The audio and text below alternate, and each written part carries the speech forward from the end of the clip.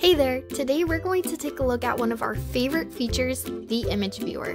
This is an essential tool to have in your toolbox anytime you're administering a present level assessment, a progress monitoring tool, or even a customized lesson plan that includes images.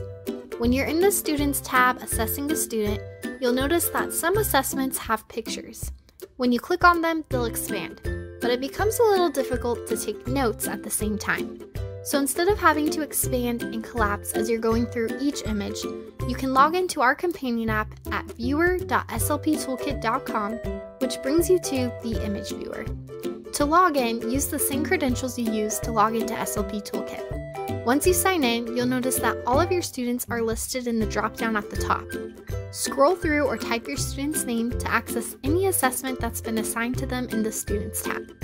Now your student can view the images on an iPad, tablet, or phone at the same time that you're taking notes within SLP Toolkit on a separate device. And if you're doing teletherapy, it makes it so easy to just share the image viewer screen with your student. So make sure you bookmark this URL and let us know if you run into any questions.